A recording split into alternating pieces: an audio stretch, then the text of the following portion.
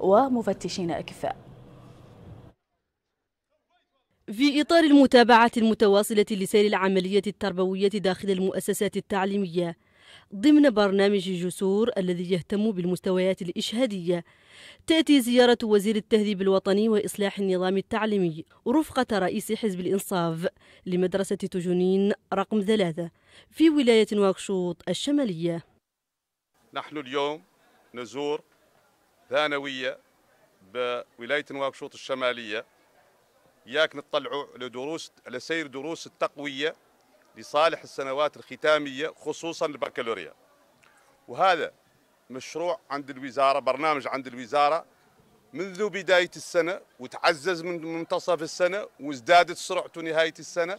إياك نعزوا قدرات تلاميذ اللي مترشحين للبكالوريا. إياك ذاك يزيد عدد الناجحين ومعدلات الناجحين.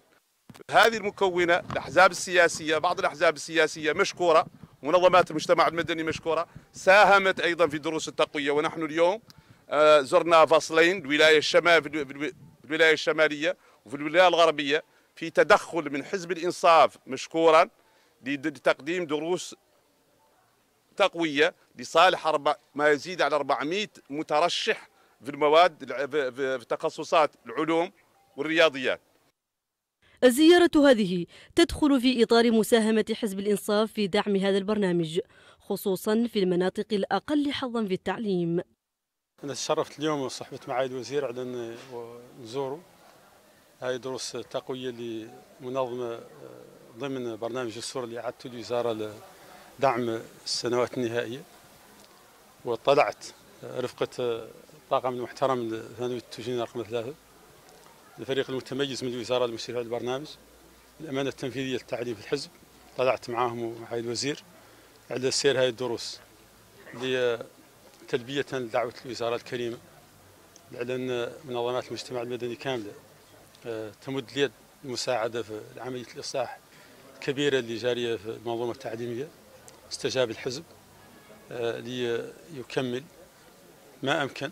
من هذا الجهد الوطني الكبير اللي على الناس كاملة واللي فخامة الرئيس يكرر دواما على إصلاح المنظومة التعليمية على أنه مسؤولية كل حد.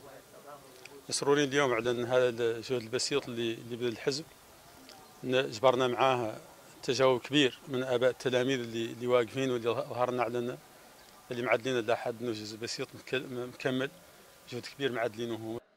كانت هذه الزيارة فرصة عبر من خلالها الطاقم التربوي في الثانوية. عن ارتياحه وسعادته بهذه الخطوة التي لا محل ستساعد في زيادة نسبة النجاح في مختلف المسابقات النهائية حسب قولهم.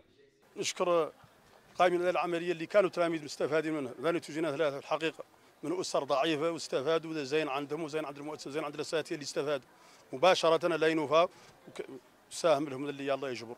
وشاكرين حزب الإنصاف تشارك مع الوزارة للعدل للتلاميذ اللي راهم شافوه اليوم أنهم تلاميذ حقيقيين وموجده الوزير والوفد المرافق له تجولوا داخل الفصول كما استمعوا إلى إحدى الدروس المقدمة وآراء الطلاب في مشروع جسور الذي يتمثل صميم عمله في المساهمة في تقديم دروس تقوية للسنوات الإشهادية.